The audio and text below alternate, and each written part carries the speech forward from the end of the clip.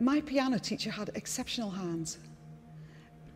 Extending from them were extraordinary fingers. Her fingertips could produce heart stopping melodies, chords, and arpeggios. I would gaze at them hypnotically as she displayed their dexterity, effortlessly demonstrating how the pieces could be performed.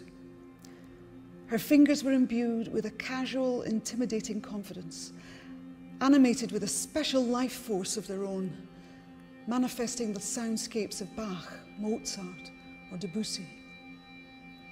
Mrs. Murray's hands became two elegant birds navigating the lightness of air before landing on the surface of water. Her fingers skimmed synchronistically across the breadth of octaves, rippling over the black and white notes.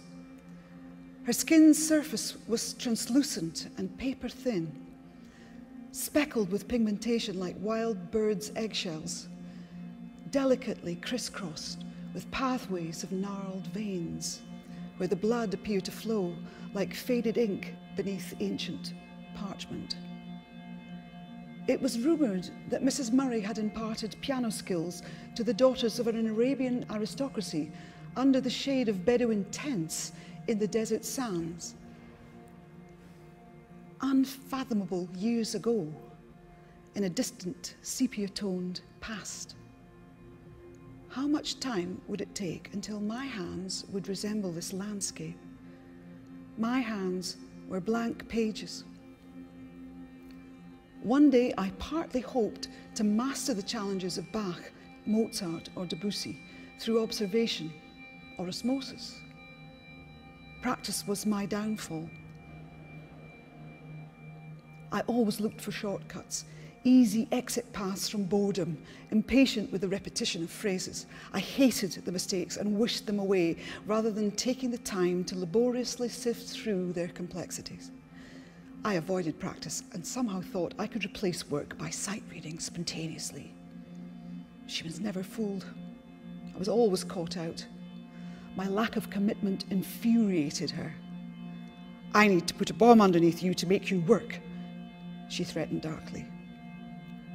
At one point, I was supposed to have prepared two pieces to perform at the music festival, but they were far from ready. She was furious and told me that I'd be the laughing stock of Aberdeen. I suppose that phrase was kind of bomb. The notion of humiliation by the entire population of the city was terrifying. The shirker inside me was about to be caught out and exposed. I would eternally be seen for the bad lot I truly was. Shame arose. I practiced and got away with it.